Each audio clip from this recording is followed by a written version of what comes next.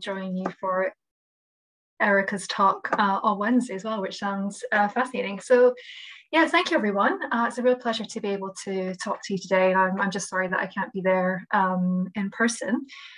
Um, so what I want to do with this paper today is basically to keep it quite informal um, I don't want to try and read out a nicely well written, detailed close study paper. I want to kind of talk through some of the key trends and developments that I, I'm, I'm seeing and, and the material that I'm, I'm working with. Um, I also want to make a, a quick um, warning that we may at some point be Zoom bombed by my cats who like to make an appearance on these things. So apologies if a tail suddenly goes in front of my face at any point. Uh, it's almost bound to happen. Uh, so, but yeah, thank you very much for, for having me on today. So, so let's get started. All right. Um, okay. So what I want to do with this paper today is basically, I want to propose what I'm calling an age-ential and a generationalized analysis of conflict, focusing today on colonial insurgencies. Now, children were very much um, some of the key victims of, of colonial counterinsurgency tactics and the liberation struggles that emerged in the decolonization era.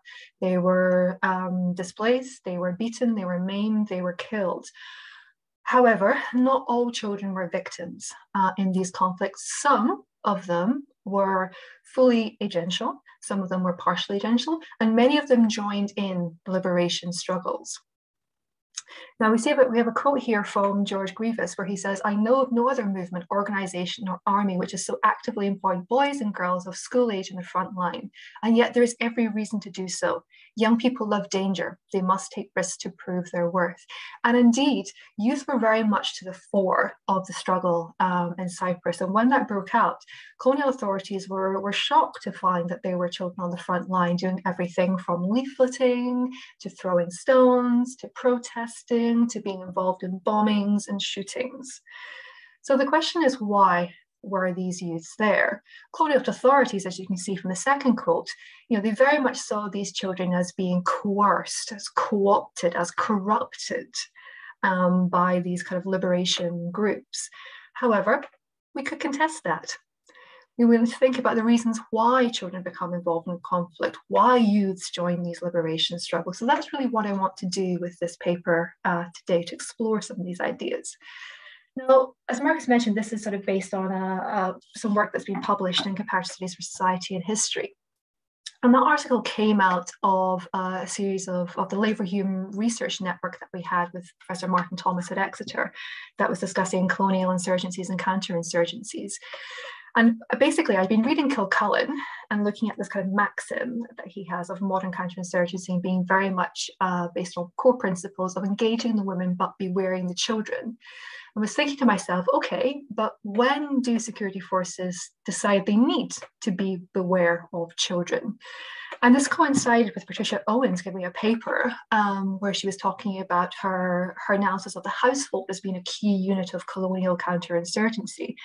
And so I was thinking, okay, households, you know, they're, you know, we talk about the kind of gender dynamics of that, but actually households are very much generational units as well. So where's the generational analysis in this?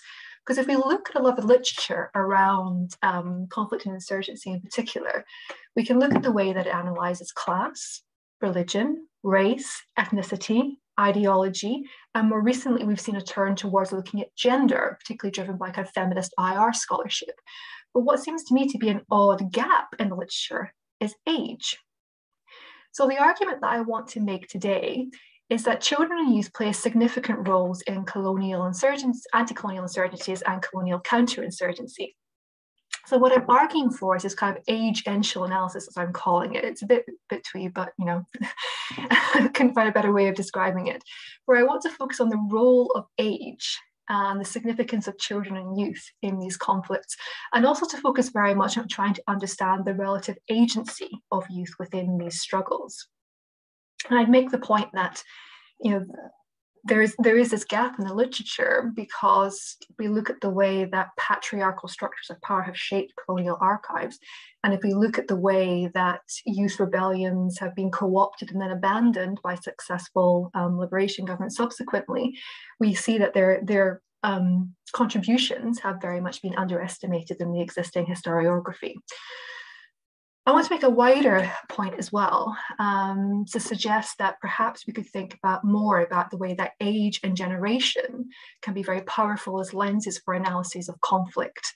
So that's why I want to make this point about the need for trying to generationalize insurgency and counterinsurgency.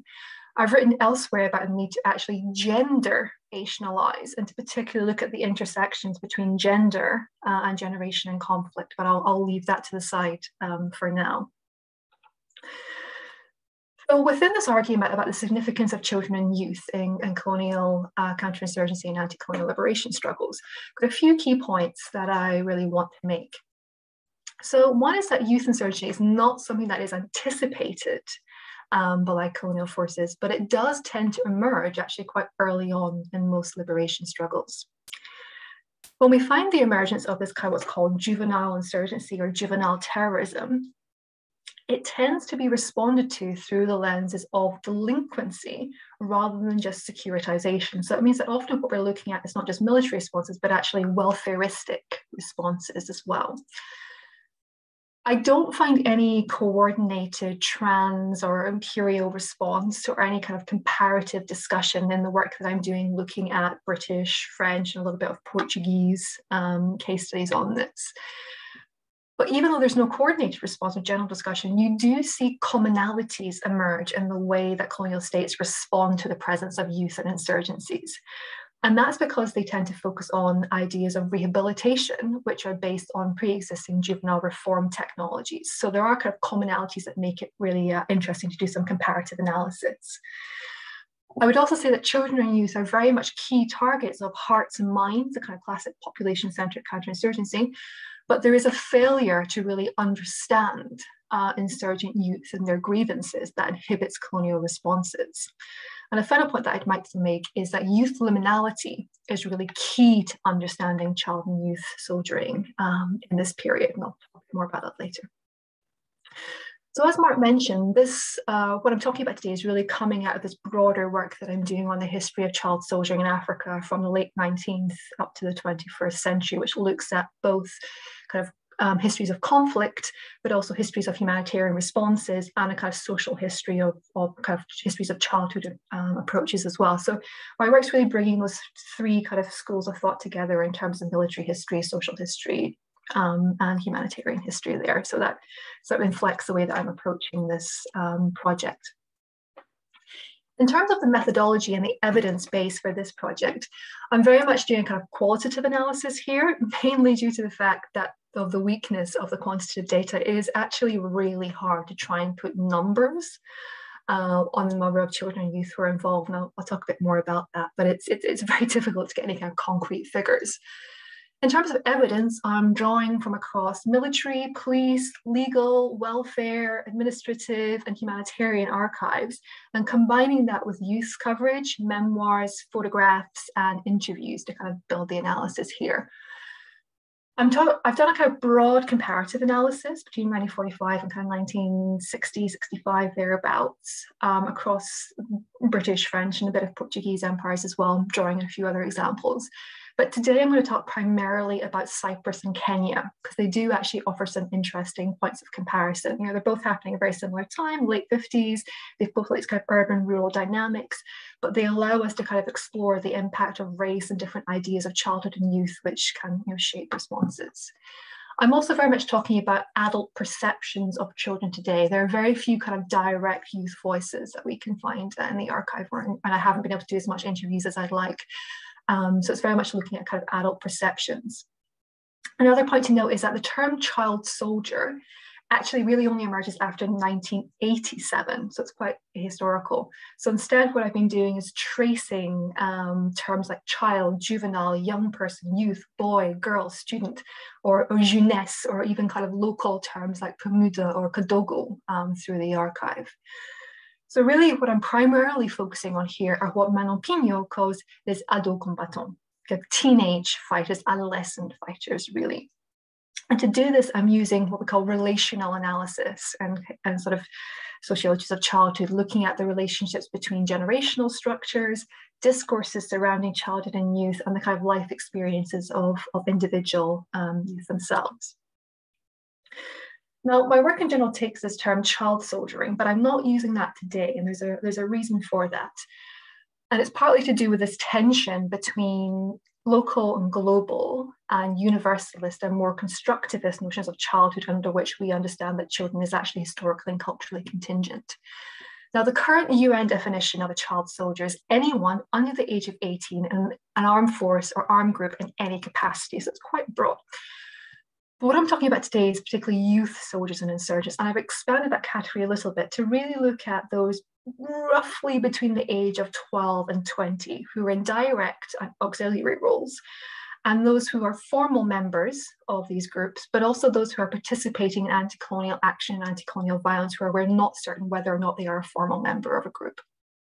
And the reason for this is just due to um, the limitations of the data in terms of unknown chronological biological ages, people aging out of that category during a conflict, and very limited membership data. It's also linked to the way that youth acts as a shifter category uh, and the kind of this notion of liminality that I want to explore this line between child and adult, combat and civilian. But primarily it's because historical actors themselves self-identify as youth rather than children. So I kind of respected the terminology that they, they have adopted. So there are three sections I want to kind of talk through um, today. So first, I want to talk begin by talking about the emergence of the youth soldier as a category of concern. Um, then I want to move to talk about the logics of youth soldiering. So moving from the whys to the hows, how, how children are involved in these conflicts. And then thirdly, I want to talk about colonial counterinsurgency responses um, to this. So three sections, and we're going to run through them all uh, in a relatively kind of general um, way. So let's get cracking then. So section one, the emergence of the youth and child soldier. Now, when the child soldier first erupts onto the international humanitarian stage, it's in the early 1990s. And child soldiers at this point become these kind of key objects of humanitarian concern. They're a focus of human rights abuses, and they become these kind of icons of new wars, these kind of new barbarism theories. And in a way, the kind of core report that really sets up is the Graça Machel uh, report for the UN in 1996, in which she constructs child soldiering as, quote, a result of the desolate moral vacuum, a space devoid of the most basic human values. And basically, the kind of humanitarian constructions of child soldiering set up this contrast between the kind of new wars in which you see children being involved and the so-called traditional warfare and liberation struggles, which Machel report posits respect civilian and military boundaries and do not involve children um, in these conflicts. However, if you look at the development of international humanitarian law and the laws of war, a slightly different story emerges. Here, children youth emerge, um, and really the first time that they're tackled in IHL is around the um, additional protocols to the Geneva Conventions in the early 1970s. And if you look at the diplomatic negotiations around this, it's very clear, and this comes through directly from the ICRC records, that they see a real um, emergence of children being involved in conflict at this point, and they see it as a product of the use of sorry, they see it as a product of, quote, national liberation struggles with a legitimate defense or of guerrilla warfare. Okay, so when the child soldier first really emerges uh, onto this kind of international humanitarian scene, it's because of these anti-colonial liberation struggles. And you can see this in the debate. So you can see the way here that you know there is this push towards having this kind of straight 18 position where anyone under the age of 18 should not be allowed to be involved in conflict directly or indirectly. But opposition to that comes from a lot of um, countries that had been either were either domestically recruiting children or had recently been involved in anti-colonial liberation struggles. So we see here Greece, Britain and Vietnam putting forward the opinion that 15 to 18 year olds, quote, have the mental and physical capacity to fight and will wish to serve their country in the time of need, okay? So that's, that's a sense we can see here that children are very clearly recognized as being involved in anti-colonial liberation struggles we now have to move from the international humanitarian archive to the colonial archive to try to understand why they become involved in these anti-colonial insurgencies and to what extent they are really involved. So in terms of the work that I've been doing, there are a couple of kind of core theories that we could look at as to why children become involved. Things like youth bulge, demographic theories, patterns of child labor. The jury's still out on those. I need to do a lot more research around um, those kind of theories. So what I want to talk a little bit today is more about the kind of social history side of things and looking at the way that actually the children's involvement in anti-colonial insurgencies is in a way a product a legacy of colonial norms of childhood and of colonial state strategies of youth politicization, because that's in a way very much the paradox of the colonial state. That in trying to create children and youth as these modern, disciplined colonial subjects, the colonial state actually creates new generational identities and historical infrastructure that actually ends up spreading nationalism, youth mobilization, and then insurgency. So if we look at the way that scouts clubs, youth clubs, schools all become imbricated in these kind of um, nationalist and insurgent movements. It's also in some cases very much a product of World War II in of itself. Um, you know, we we actually there's evidence suggesting that colonial armed forces themselves deploy teenage boys in World War II we see senior military commanders like uh, George Grivas saying that one of the reasons he recruits children into um, the liberation struggle with Cyprus is because he worked so well with child partisans in Greece during the war. We can see sort of direct legacies from the war to mobilization and militarization of youth in conflicts in Palestine, Indonesia, Malaya, uh, and Indochina as well. And interestingly, in Malaya, the colonial authorities there very openly state that they, they see one of the reasons why there's so many youth becoming involved um, in the, the communist insurgency is because of the loss of education and the loss of parental authority during the Japanese occupation and the war. So in some places, there is this link between Second World War and the kind of insurgencies that emerge in the way that children are involved. Now, if we look at colonial explanations for why children and youth are, are becoming involved in these anti-colonial struggles, they have two main theories. They think it's primarily down to what we see as a breakdown of generational authority and failed parenting. Those are the terms that come up again and again and again in the, in the, literature. And they see this as creating a wave of juvenile delinquency in the post-war years that almost automatically becomes terrorism, juvenile terrorism when, when conflict erupts. So we see this in kind of Louis Leakey's work in Kenya, where he talks about the way that a whole generation has disintegrated. Youth no longer discipline or, or having the discipline or respecting their elders. And they just have this desire for adventure that they find in violence and terrorism. And in Cyprus, they have this whole report, 1947, around what they call the corruption of youth.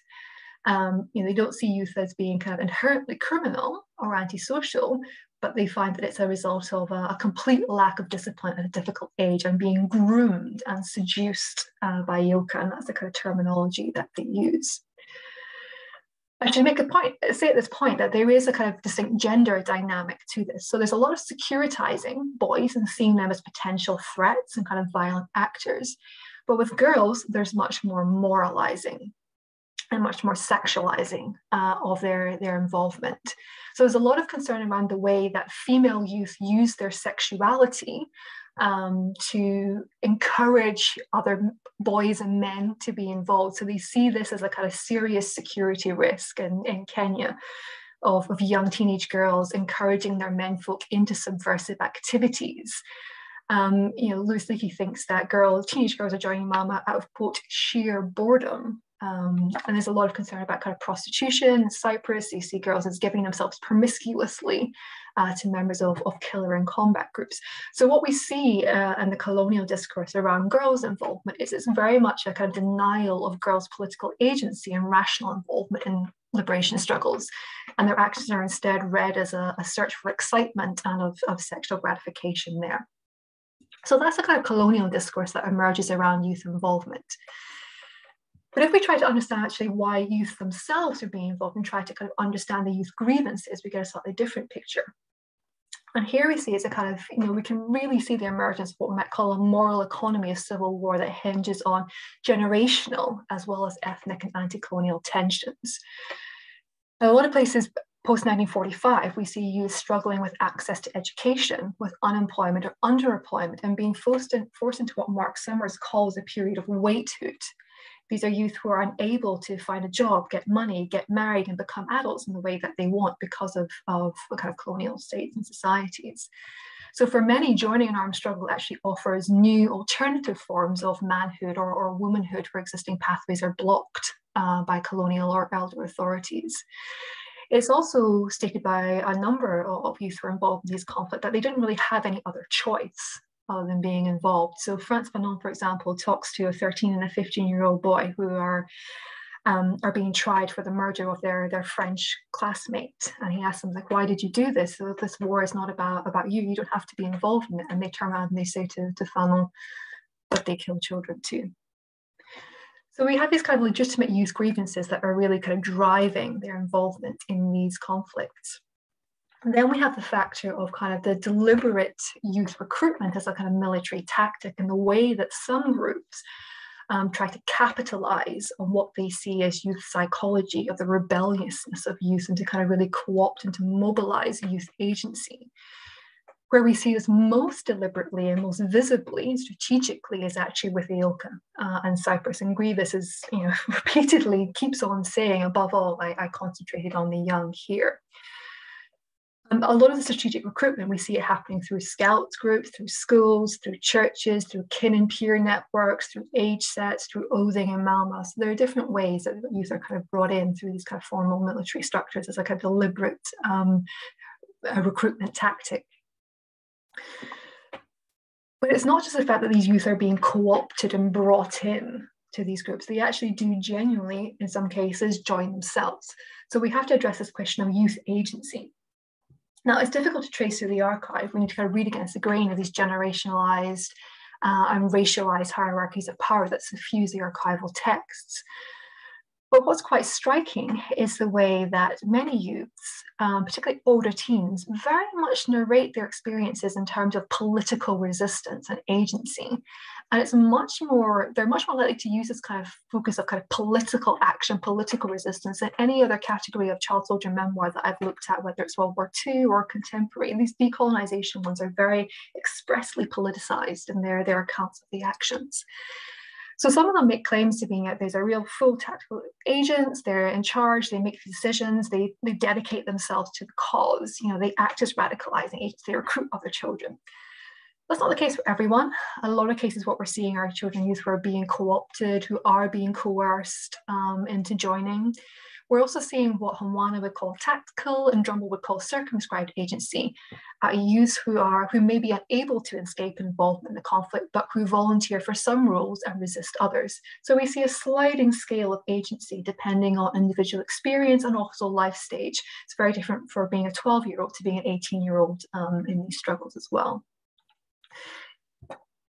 Well, another thing that I've been looking at really is uh, trying to understand the different sort of facets of, of youth identity, which really shape the way that they become involved in looking at youth insurgents as a, a cohort, as a kind of group identity, as a, a, liberation generation, the way that they see themselves as having this kind of liberational identity, um, of understanding this kind of life stage, this kind of rebellious youth uh, approach, and understanding the way that they get involved through kinship networks as well.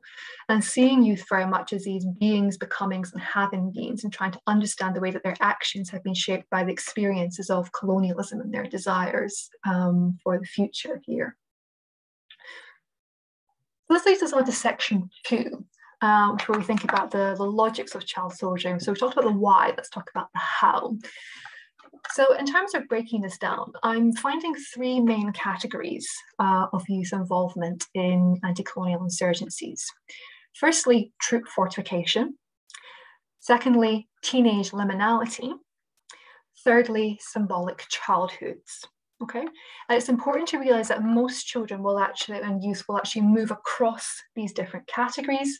The logics for these overlap, and so many children may act in multiple capacities um, almost at the same time. So it's not that these are kind of distinct and bounded um, categories here. So let's start with the first one, troop fortification. So here we're looking at youth soldiering as a, as a kind of force multiplier um, within asymmetrical warfare. And basically, we're looking at the way that children and youth are, are mobilized as able bodied recruits and physically capable violence workers, essentially doing the same roles as adults. We see this primarily uh, in kind of particularly in peasant political economies and spaces of mass mobilization, for example, in the Malayan emergency. In some cases, we see them being integrated into units with adults. In some places, there are separate units. So if we look Indochina, we see the kind of youth guerrillas, child pioneers, youth shock brigades. Cyprus, we have peon, groups like that. We see them involved in both frontline and also, and I'd say particularly in auxiliary support capacities there does still tend to be a little sort of informal line drawn around sort of how old you have to be on the front line in an armed capacity. And it's normally around the age of 16 and it's primarily gendered as male. So it's, it's teenage boys who are being sent out with, with guns. Some of these roles can actually replicate peacetime child labor. So if we look at the Mujahideen girls in the FLN, um, we see them working as cooks, as washerwomen, and as nurses. And and this is still slightly anecdotal, I'm still doing the work on this, but I, I think that we can see in most cases an increase across conflict duration. So they, they become more influential in this kind of troop fortification role as conflicts move on. And there's a sense from the colonial archive that they think they're seeing ever younger children being called, pulled into anti-colonial forces and that children are being sent into uh, frontline roles earlier with less training as, as conflicts kind of drag on uh, as well. The second category is what I'm calling youth liminality. And here what we're looking at are roles where children are kind of physically capable of, of violence, but where they are being coded um, by insurgent groups and colonial states as quote as civilian child rather than as combatant adult. So it's it's taking advantage of that kind of slippage between the child and the adult, really. And it's this youth liminality that I think is it fuels a kind of tactical flexibility that is really important for insurgent success. Primarily what we're talking about here are actually covert and intelligence roles. So we're looking at leafleting, scouting, spying, couriering. Often these roles involve replicating normal childhood behaviors of playing, of kind of loitering in the street, um, of running errands, kind of thing. We also see them more directly involved in sort of violent attacks. Um, both boys and girls are, are, involved in bomb attacks. So see, for example, here uh, on the bottom picture, Yasmin Belkacem, um, who, who famously lost both her legs age 14, uh, bringing a, a bomb to a police station in Algiers. We also see them involved in kind of assassination squads, and particularly in Cyprus. So these tend to be boys rather than girls uh, involved in that, with girls kind of running support roles for those kind of activities. And what's quite striking from the colonial archive is in both Kenya and Cyprus, we see a sense from colonial authorities that they think um, insurgent groups are deliberately sending out teenagers to do these kind of assassinations because they are aware that under 18s cannot be executed. So they think that insurgent groups are deliberately exploiting this gap between the youth, the, kind of, the violent capacities of youth, and their legal accountability uh, in order to kind of make these kind of targeted assassinations. So both these categories, the kind of troop fortification, youth liminality, these are categories which we see in many other conflicts throughout history, um, you know, from you know, kind of um, looking at kind of US Civil War through to partisan activity in World War II. The third category, I think, is slightly different, and I think it's a new development in relation to colonial counterinsurgencies. And that's what I'm calling symbolic childhoods and the way that school children are mobilized um, by these groups. And essentially what we're seeing are school children being involved in, in protests and riots and the way that this becomes an effective guerrilla tactic and the way that it deliberately leverages colonial constructions of childhood against colonial regimes. Um, we see it predominantly in urban and guerrilla conflicts and in groups with international support that have propaganda strategies. So we see it particularly in Eoka, a bit in FLN, but not so much um, in Kenya with, with Mau Mau. And essentially what they're doing is they're sending these children up here to raise the profile of these campaigns and also to inhibit colonial security responses because they're aware that colonial force, that you know, the British government doesn't want pictures of British soldiers stomping on Cypriot um, school kids on the front page of the Guardian or the International Herald and Tribune. So we see these school children acting as protesters, as rioters, but often also as decoys um, to distract and, and to move around security forces. And it's interesting here that, that education really becomes a kind of key battleground um, of these kind of um, insurgent strategies, looking at the way, and in Cyprus, we see that the way that the colonial state responds by trying to, quote, de-Hellenize the curriculum uh, in a way. And we see sort of battle the flags and school closures going on in an attempt to kind of control and defeat these, these insurgent children here we see a kind of slightly different dimension emerging uh, in Indochina and Vietnam. And here, the, the there's still this kind of propaganda emphasis on the value of, of children and youth in, as these kind of revolutionary fighters, this kind of next generation of revolutionary fighters. But the emphasis here is rather on the, the individual lionization, the kind of martyrology that emerges around particular youth heroes and the way that they become central to the iconography um, of resistance and revolution. Uh, individuals like, uh, please pardon my, my pronunciation here, Li Ju um, youth who are, are, executed for their, their role in killing French and, and American soldiers there. So this kind of symbolic, this kind of symbolic mobilization of childhood is something that seems to me to be quite a bit new um, in these anti-colonial um, insurgencies. So that brings us on to section three, which is about how colonial states respond um, to the presence of children and these kind of youth insurgents.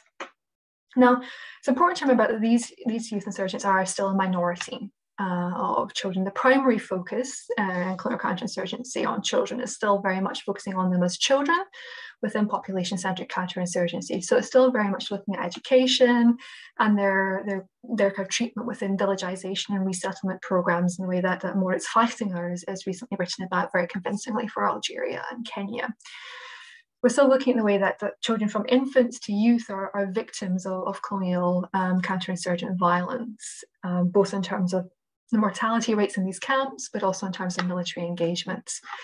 But if we do turn to these youthful insurgents, we try to think about the ways that military forces and security forces respond to them. This is something that I want to talk with you about because it's something I need to do a bit more research on. But what I found so far is that we can see uh, an evolution uh, and sort of the response of security forces we see in the kind of orders and the practice and their kind of engagements, we see a shift from children and juveniles being coded as civilians and not a kind of primary target to them becoming legitimate targets throughout the conflict duration. So, for example, we can look at Kenya by the way that by 1954, the security um, special branch designates children a quote serious security risk and begins allowing the you know enhanced interrogation of children from the age of 13 onwards. In Algeria, we see by 1957 um, increasing sense that children are being targeted um, in attacks. Um, we're seeing the emergence of, of separate uh, centre, uh, centre triage um, and transit um, camps specifically set up for youth detainees there. One quick point just to make here that I'm talking about the way that colonial states respond to insurgent youth. In terms of trying to understand the way that youth are involved in colonial security forces, there are actually far fewer archival traces for youth being involved in colonial security forces, um, but it is likely that they are, and they're particularly in kind of loyalist um, paramilitary home guard forces. And we do know that there are there's evidence that some are being flipped and recruited for particularly for kind of intelligence, translation, or support duties. So we see that particularly in Kenya that the, the colonial state is using some children itself um, response. Really, um, in terms of creating colonial concern uh, around uh, the involvement of, of the youth in insurgencies, where it primarily emerges is in response to children's um, appearance in court. Actually, very early on in of emergencies, you see increasing numbers of juveniles being charged with emergency offences in the special courts. And in Cyprus, I've counted over 1,073.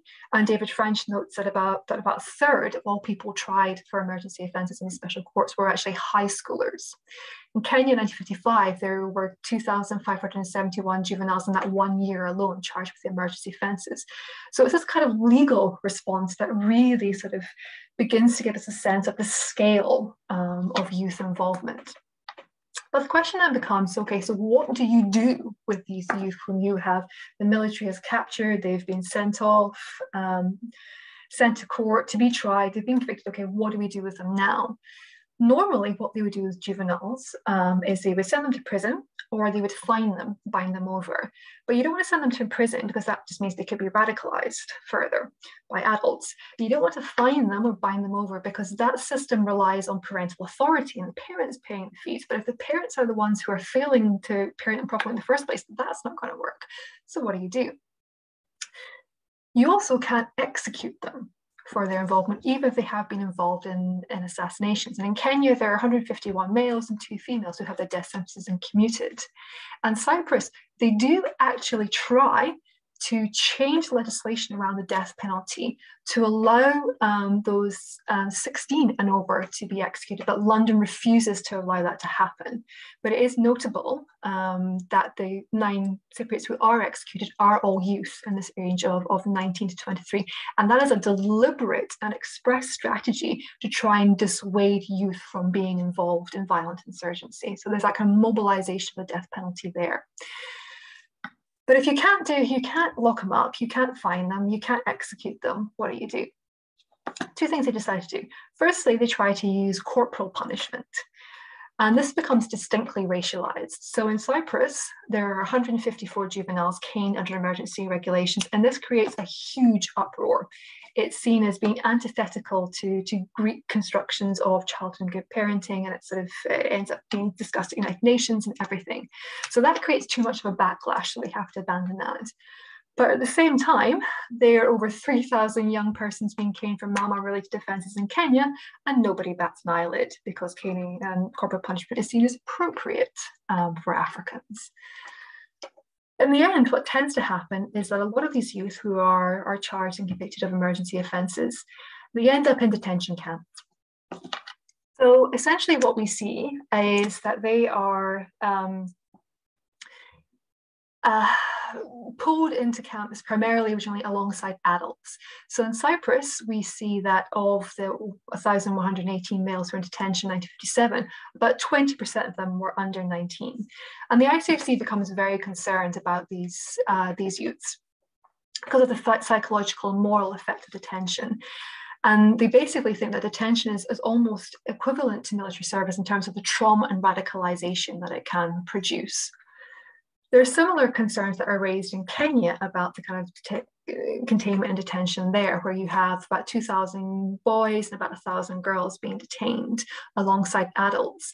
And there's particular concern there around sort of overcrowding, fear of contagion by hardcore Mau Mau, and a, a, kind of moral panic around what's called improper sexual relations, where they feel that the boys are being basically being raped and abused uh, in the camps as a result of this, in the sense that the, they think the youth are kind of stagnating or just being radicalized in these camps, they decided to start establishing rehabilitation programs for youth and setting up um, separate segregated camps um, for youth. And these camps, they very much are based on a combination of colonial understandings of local age relations um, welfareistic responses and global technologies of juvenile reform. So they basically tend to kind of mash together kind of English notions of borstals, public schools, and kind of security responses to, um, to, to insurgency. In Cyprus, they don't do a lot of this. Basically, there's a sense that they don't think they can really change the minds of these youths and they don't have the resources to be able to actually do it properly. But in Kenya, they go all in on it. And there's this real sense of colonial paternalism and this sense that African youth are more malleable and in more need of rehabilitation and reform. So they talk about the way that these boys are reclaimable through school and discipline. Um, one of the officials in charge, Owls, is he describes the way that hard discipline meted out with sound and flawless justice is the best medicine. Like any African, these boys react very favorably. And in Kenya, they set up one camp in particular, which is called Wamumu. And this becomes the kind of the, the crown jewel of the pipeline in many ways. And it's the one aspect of rehabilitation in the Mau emergency that the Kono State actually thinks works to the extent that any boy that goes through uh, Wamumu comes out with a pardon from Governor Baring at the other end. And here, what's very striking is the way that these youth insurgents, these juvenile terrorists, as they're branded, are reconstructed as delinquent, disobedient, but reclaimable children. And what they do at Wamumu is they basically they combine Gikuyu rites uh, of adulthood and circumcision uh, they combine it with a very kind of hard carceral disciplinary authority. These are not kind of soft spaces, there's still a lot of violence in them. But they combine it with actually providing education, providing a pathway to adulthood through finding the boys jobs, through mentoring. They have this kind of combination of generational authority and youth cohort identity, which works very effectively. So Wamumu actually becomes this weird sort of success story of the Mau emergency and the way that it takes these these juvenile terrorists and turns them into respectable and successful proto adults. Uh, in a way, who many of whom who go on to successful careers, and some of them actually end up working for special branch as well during the emergency. So they go from that terrorist to security uh, worker in the space of, of the emergency. Again, this is all gendered. So there's a lot of investment in, in Wamumu and the boys and on kind of constructing them as, as economically productive citizens, girls' rehabilitation, very much around moralization, on domesticating these girls, of taking these kind of sexualized insurgents and turning them into good mothers and basically teaching them how to wash their babies properly and teaching them domestic skills. And the quote that always stands out to me um, from the archive here is the way that one uh, worker, welfare worker, Mrs. Warren Gash, talks about the way that rehabilitation transforms girls from being sour, unpleasant, and downright ugly to being, quote, really pretty. So apparently rehabilitation can change your looks as well. But there's still this sense that girls are somehow inherently immoral, and the colonial authorities still believe that they, you know, they can't really be trusted to solve their problems in a, in a happy and honest way. So to conclude, this gives us a kind of overview of the key trends that we're really looking at in terms of children's uh, involvement in anti-colonial insurgencies and um, colonial responses. The key points I really want to get across with this talk are the way that youth were a significant force in anti-colonial insurgency. Their involvement is driven by kinship, by cohort identities, by life experience, and by their own political agency rather than just adult manipulation. In a way, youth insurgency has been a part, a response to colonial states' own constructions of childhood and their attempts to control youth. We see youth insurgents being involved in multiple roles. As troop fortifiers to provide sustained manpower. We see the tactical exploitation of youth liminality. And we see the symbolic mobilization of, of children and discourses of childhood innocence against colonial states.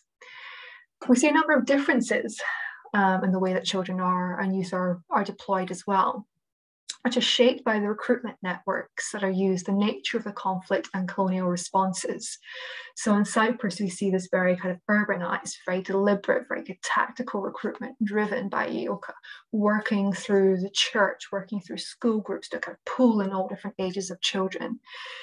And Mau, we see it much more decentralized, much more uh, a response to kind of uh, local peer networks, to oathing strategies. Um, and it's a much more kind of fluid uh, involvement. And what we see in this sort of youth involvement in anti-colonial uh, insurgencies, in a way, and colonial responses, in many ways, this sets a model for the way that child soldiering emerges in the post-colonial era. I would argue that it's colonial, their involvement in anti-colonial insurgencies, it, it lacks the dehumanization and it lacks the deliberate generational inversion that we see in places like Mozambique or Northern Uganda in the post-colonial era. But I do think it very much establishes the logic and the models of recruitment. And we see the same um, combination of voluntary and, co uh, and coerced recruitment of direct indirect participation where that we see in many kind of post-colonial conflicts. And in some places i think there's there's this kind of very direct link between anti-colonial insurgencies and post-colonial developments. If we look at Palestine, if we look at uh, Cambodia, Angola, uh, Ireland, places like that, we see these kind of real kind of legacies of these kind of anti-colonial insurgencies for the way that contemporary child soldiering operates. Um, there are these kind of common responses as well. We see juveniles being beaten, being detained, being flagged, but also being re-educated and trained to be economically productive and politically acquiescent colonial subjects. We see them being reconstructed as delinquents rather than terrorists to facilitate their subsequent rehabilitation. But overall, the point that I want to make is this is very much preliminary research. This is very much a sketch um, of these trends. And what I would like to, to argue for is the need for more research around children and youth, more comparative research, more research once such things become possible again, and, and local district archives, more kind of intensive um, oral history investigations in, in former colonies to really recover and, and analyze the experience of these youth who are willing to risk life and limb to fight for the, the future of their countries and to fight for their own future um, as well. So I'll stop there and I hope you found that interesting. Uh, and I'm very much looking forward to your feedback and your help with some of these questions around um, sort of military dimensions of, of what I'm talking about. So thank you very much. All right, wonderful. Thank you, uh, Stacey, um, for that. Um, uh, I guess I'll get us started um, and uh, give a few sort of questions or maybe reflections, and and hopefully that'll give the, the audience a chance to, um, to, to gather some questions up. Um, for those of you in the audience, uh, if you do have a question, please put it in the, the Q&A um, or, or raise your hand and, and we'll call upon you. Um, so first of all, Stacey, uh, what I'd say is for, for, for preliminary research, that was incredibly rich um, and enlightening. Um, so I, I can't imagine what the project's going to look like when you, you feel like you're, you're at the end. Um, I just, I just really impressed with the, the range of, uh, of what you're doing and, and these questions you're, you're looking at. And uh, I was struck too by, you know, a lot of what you were talking about sort of has resonances with earlier historical periods um, as well in the anti-colonial struggle. Uh, and it made me think a lot about um, early Indian uh, revolutionary nationalist violence in, in the 1910s and, and, and 20s. Um, and you know, like uh, the, these young youthful assassins like Khudiram Bose, who's you know one of the youngest, if, not the most young youngest person ever executed in British India. Um, and uh, you know, you look at the their sort of explanations for what they're doing. As you said, they they're not like these co-opted sort of um, hapless victims. That they're very deeply political and politically um, it, it engaged. So I think that's a it's a really important thing to emphasize. You know, this this notion that youth can be very like they can have a political agenda very much um, like um, uh, adults. Um, so I guess in terms of a question I had, um, and I guess this is the question you get when you do any sort of like global history um, project, and it's it's always this fine balancing act between you know drawing these these really important connections and parallels while also maintaining sort of the particularity of specific contexts or, or conflicts. And you know throughout your talk, you you sort of um, alluded in some cases to you know different um, measures in, in, colonial counterinsurgency targeting um, the youth. And I was just wondering if you could maybe speak a little bit more about this and how specifically racial difference and imperial racial hierarchies perhaps conditioned and and, and, and determined uh, specific responses. Um, you know, are the responses you, you use against people in Cyprus going to be very different from um, Kenya, for instance, or you know, in Ireland, for instance? Uh, to what um, extent does the culture of the of the colonized country determine sort of the response to the to the youth? Um, uh, when they're uh, the colonial authorities are, are, are clamping down on this. Um, and uh, I suppose actually the, the other the other question that came to my mind as well, if you, if you let me pose too, is um, it, it seems to me that a, lot of the issues you're talking about are, extremely timely today when we talk about youth radicalization and, and, and, youth going and joining um, you know uh, armies around the world or, or armed organizations fighting. and I was just wondering, you know, to what extent are because you, you talked about some of these um, gurus of counterinsurgency like Kilcullen and others, and I was just wondering, like, how uh, how aware are are people engaged in contemporary de-radicalization programs, these sorts of things, aware of these historical precedents and and looking to them either for uh, inspiration as to what to do or what not to do? Are they trying to just reinvent the wheel without even, you know, knowing the wheels have been invented? Because I find that's one interesting thing about contemporary counterinsurgency is it replicates so many tropes from colonial counterinsurgency mid 20th century and even into the 19th century without consciously being aware of it in a lot of ways. Um, so I was just wondering if you could maybe speak to a bit bit to that. But so I'll leave it there, Stacey, and look forward to hearing your thoughts.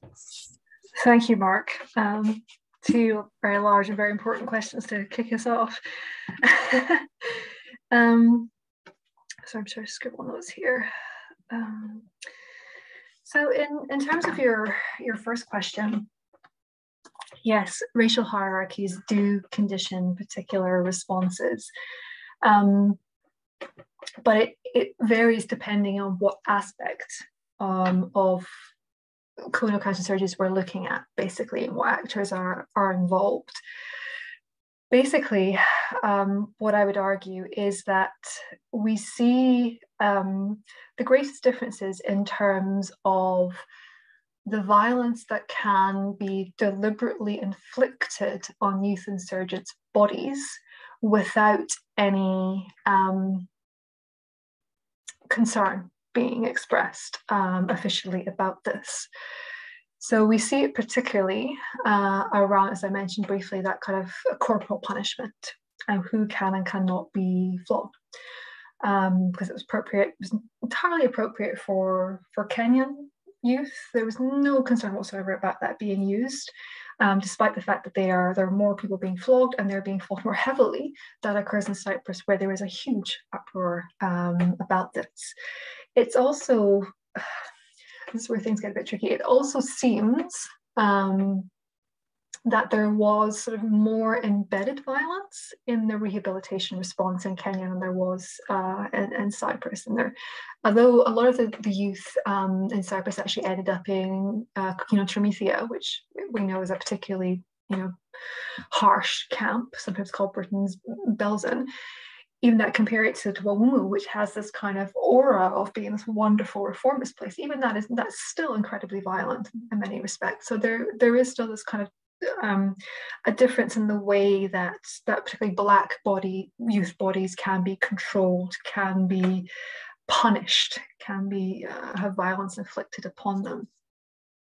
But that is conditioned and contained by the way that um, colonial states engage with these broader international um, juvenile reform technologies um, and the way that actually there, there are limits on what can be done to, to youth um, which are not the same as you can do to, to, adults. I think youth are always more more protected. They're, as I say, these youth they come under the um, the authority of development and welfare officials or probation officials, rather than the kind of military or prison run camps that we see in other aspects of, of the pipeline in places like Kenya. So there is this kind of there is a scale. So I think racial hierarchies are are very important. Um, and certainly you can you can sort of trace the um, the the depth and the extent of violence and the way that there are more youth sentenced to punishment. There are, there are kind of more floggings. There are more death sentences imposed on on black youth in uh, Kenya. There are more uh, severe and more you know, uh, capital sentences imposed on um, Arabic rather than Jewish youth uh, in Palestine.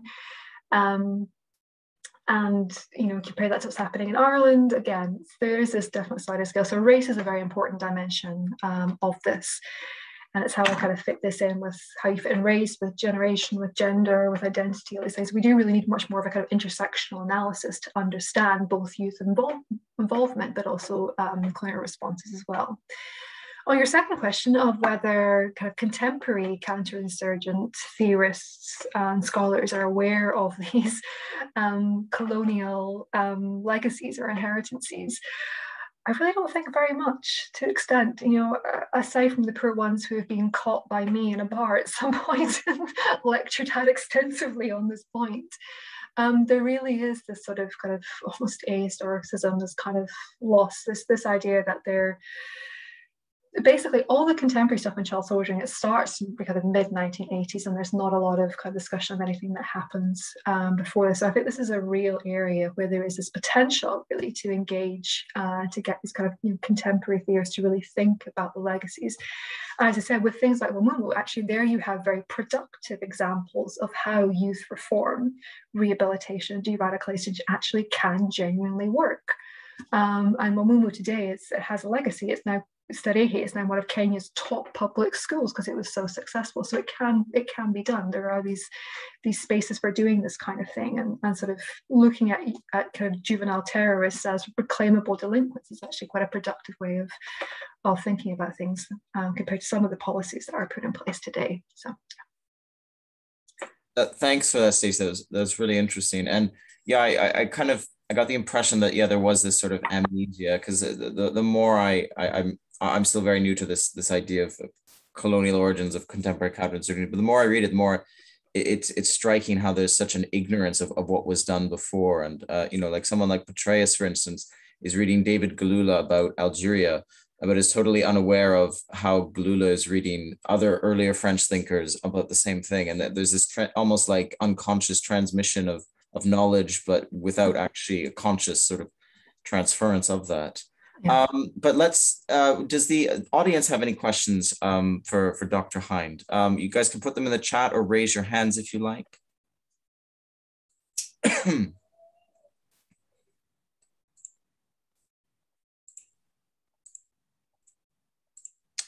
All right, well, maybe while we're waiting for them to uh, collect their thoughts a bit, I mean, I, I was wondering, Stacey, like, so with, with this project, it, it, it, seems so huge. Are, are you are you planning on developing it into a book, um, or is it you think it's going to be a sort of series of articles instead? I mean, how, how a book on this look like, basically? Yeah, so um, there's like two answers to that. One is that I am developing. I mean, I am in the middle of writing two grant applications, hence my slightly frazzled appearance um, on the African dimensions of that, and basically looking, um, doing a comparative analysis of Anglophone, Francophone, and Lusophone territories in Africa between 1940 and 2000.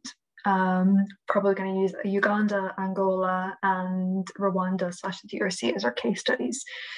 Um, so that's going to be a book, um, and that will kind of do the sort of um, military history slash humanitarian histories angle of this with this particular project that um, I'm talking about today, and this kind of comparative focus on colonial, anti-colonial insurgencies, actually, I think what I want to do with this is to do it much more broadly and do it much more comparatively. And actually, I would love to be able to do um, something like a, a special issue uh, engaging scholars from these different, uh, working on these different spaces and working on Palestine, working on Ireland, working in Indochina, actually really getting their proper analyses of these rather than my, um, you know, very um, surface skating, um, ignorant assumptions that I may be making about these conflicts.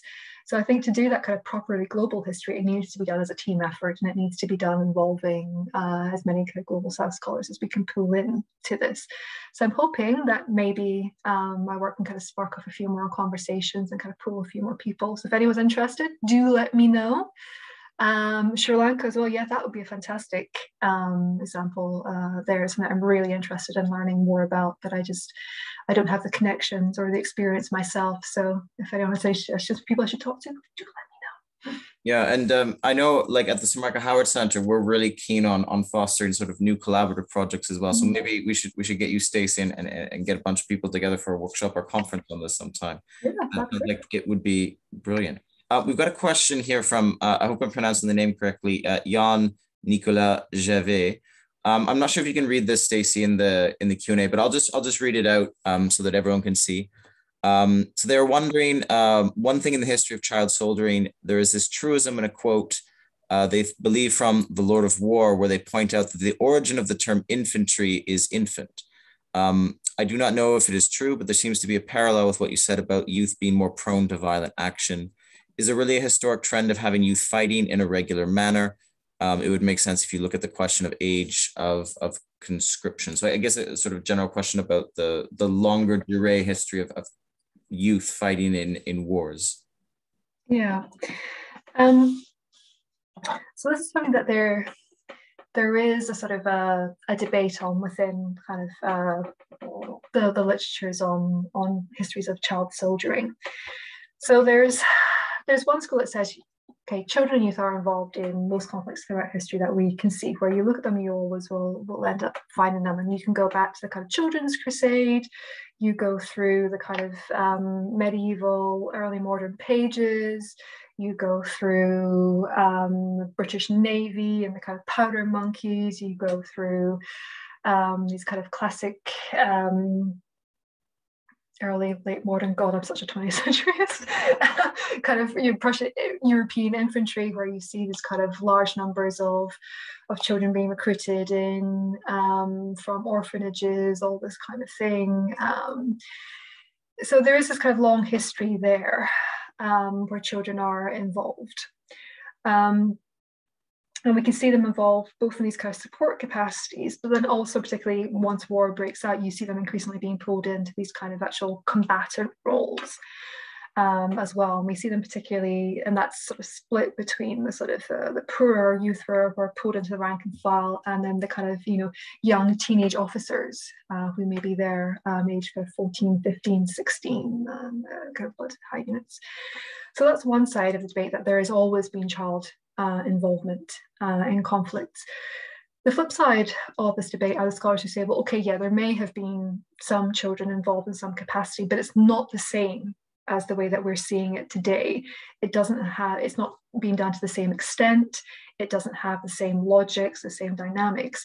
And what we're increasingly be seeing is not children being used as, as soldiers, as you know, infantry. Um, what we're seeing are children being deliberately deployed as children in armed forces. So it's a split between what kind of what I was talking about with this dis distinction between the troop fortifiers and the symbolic mobilization of childhood. The assumption that what we're seeing in this kind of um, particularly kind of post 1945 warfare is the increasing deployment and use of children as children rather than just as physically capable violence workers. Um, so that's kind of the debate that's going on in the scholarship um, at the moment. So I hope that answers your question. I mean, um, other people, please um, collect thoughts and, and type in questions if you had them. I mean, one other thought that, that I had that was very interesting when you were talking about sort of the evolving sort of um, corpus of international law about the issue of child soldiering and youth soldiering. And um, you, you mentioned sort of um, interventions made by um, formerly colonized nations in these debates. Mm-hmm. And I was wondering if you could maybe expand on that a bit more. And I was very intrigued when you, you mentioned, I think it was in 1976, Canada was one of the nations that argued for a more expansive category of of of of, of not uh, considering them illegal combatants and if they were over 16 and, and saying that um, you can have autonomy you can have sort of um, political agency and and therefore you you shouldn't be considered just a victim but as a, an active you know agent within this. Um, I, I was just wondering if you know in the Canadian example why why that was and and some of maybe the other ways um, these these formerly colonized nations sort of uh, tried to shape international law based on their own experiences of decolonization and anti-colonial resistance? Yeah, so it's, it's a really interesting area. Um, if you look at the evolution of international humanitarian law uh, on child soldiering, as I mentioned, it's the first time it really becomes uh, an issue. It's is in these additional protocols to the Geneva Convention, 1977. Um, it then crops up again uh, in the kind of uh, the United Nations Convention for Rights of the Child in 1989 to try to expand things. That's not successful. So it then gets pulled up into the kind of optional protocols, Geneva Convention in 2000, which is where they kind of expand it more to this kind of uh, category of anyone under 18. But back in these the 1970s and earlier uh, discussions around this, um, it's really interesting the way dance. I'm, I'm racking my brain and I can't remember exactly why Canada is involved. I have to, I have to admit, I'll have to, to go back and check and, and follow that, that up with you. But what we see is a split between a number of nations who wish to expand protections and basically say, well, elsewhere um, in IHL and the Geneva Protocols, we um, define childhood as anyone under 18. So we should take that for this article as well, say anyone under 18 should not be involved. But this um, contradicts a lot of domestic military recruitment policies for nations like Canada and Britain. So there's a lot of resistance to this. So essentially, what you get is a split between, on one hand, you have nations who are adopting this kind of 18 as a limit, this kind of much more humanitarian, emerging humanitarian discourse that sees youth as, as innocent, as being protected, and youth as having no place on the battlefield. And this actually involves a number of Latin American countries. Uh, you know, today we see child soldiering as being actually quite a Latin American problem. So there's this kind of weird um, dimension there. Um, and then a few sort of global north nations and sort of uh, Eastern European nations as well, all saying no, there should be broad protection for youth here. On the other side, you have these nations who are arguing that no, actually 14, 15 seems more appropriate precisely because we have this you know, recent experience of children and youth being able and wanting to be involved um, in these, these conflicts. Um, the three nations that, that make that point most clearly and most, most forcibly are, are Greece, Vietnam, um, and Algeria, actually. Um, Nigeria also makes that point as well, based on its experience of the, the Biafran War. But it's for the anti-colonial, it's it's Algeria, uh, Vietnam, uh, and Greece, and they all sort of talk about the the desire for youth to be patriotically active, that they will naturally um, it is a product of their good citizenship that youth will want to be involved in these conflicts and will want to have the capacity. You cannot deny youth their right and their capacity to protect their family, to protect their nation. And that's the rhetoric that comes up. And it's Algeria in particular that picks up this, this this rhetoric again and again and kind of you know up and you see it kind of emerging once again in the 1980s and 90s and sort of saying that this that youth involvement, that youth involvement in these anti-colonial liberation struggles is qualitatively different from the type of involvement we see in later new wars, and that this youth involvement in anti-colonial liberation should be lauded, that it is patriotic, that it is right, that it is part of their duty, and it is a reflection on their their citizenship, that they and their their sort of their their agency and their um, their strength that they want to do this. So there is this kind of distinct sort of legacy, um, legally, discursively, um, for a number of, of, of you know formerly colonized nations that were involved in these struggles where they do see that there is value and they repeatedly argue for the right of, of teenagers to be involved um, in these kind of struggles yeah it, seemed to me that would tie into sort of um, sort of older arguments and debates about how the, the cynical view of international law is that it, it simply serves the powerful and and uh, in limiting the resources and the weapons available to the weak, and that you know the nations that have just gone through this don't want to tie their hands even more in asymmetric conflicts but against vastly more superior forces so you know that that, that makes total sense yeah. There um, is a, the flip side of that is in that the one nation that holds up a lot of the development of international law is actually on this area is the us oh really they're the holdouts yeah and they're the one of I think one of only two nations now that has not signed the UN Convention on the Rights of the Child. So the sticking point is always the Americans on this stuff. Interesting. Uh, we have another um, question from uh, Jan Nicola.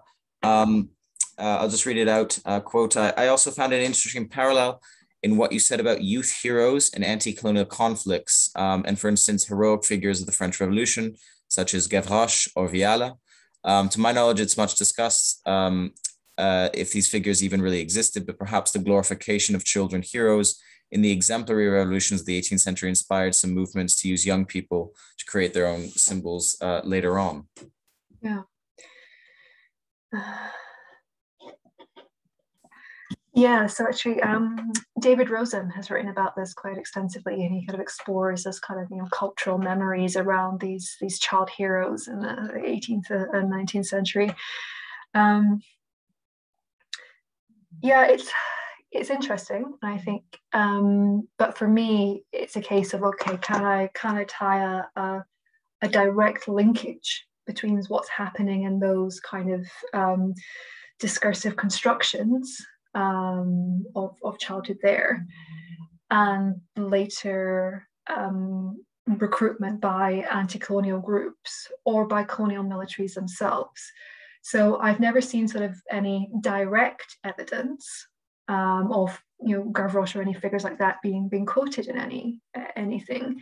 But I think you're right. I think it, it, there is this kind of um, cultural memory that that emerges, um, which could be involved. I mean, really, another thing that I haven't really spoken about today, but I think is quite um, important.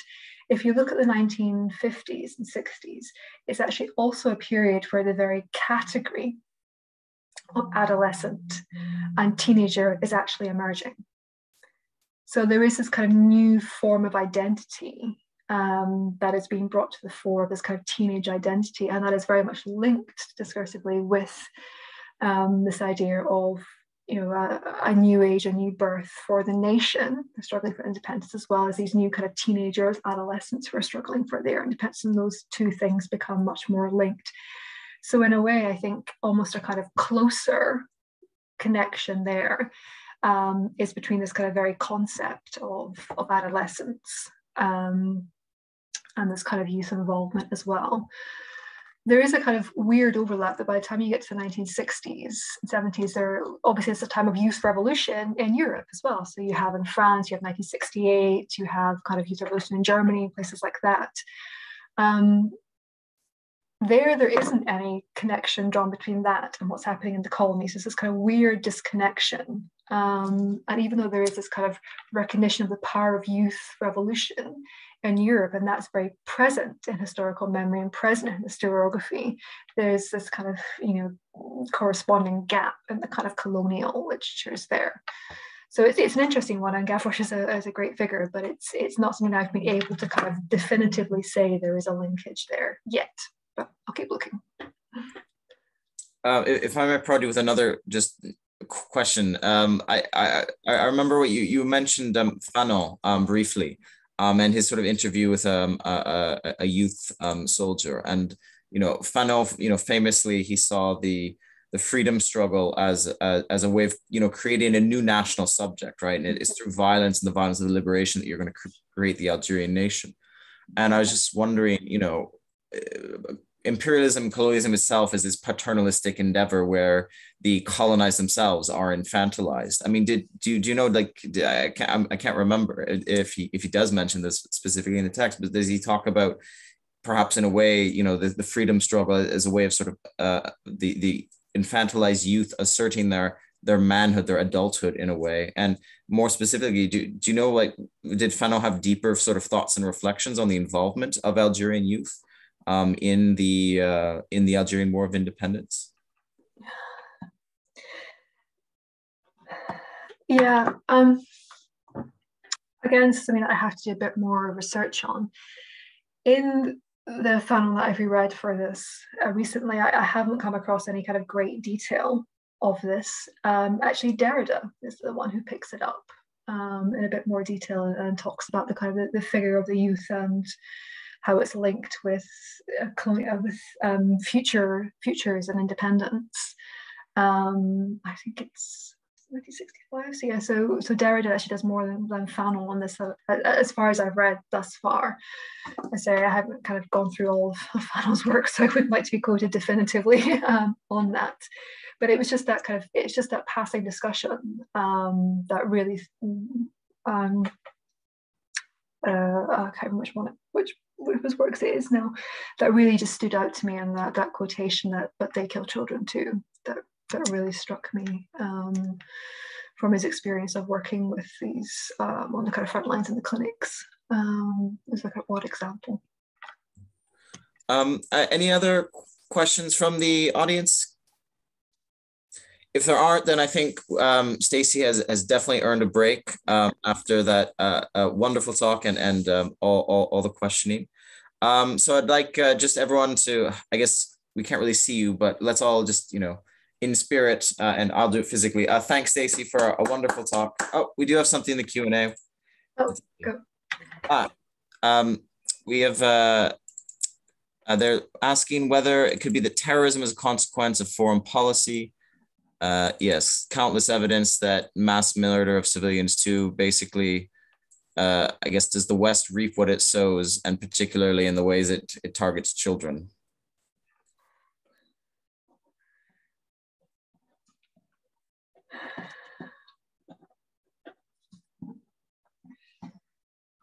Um,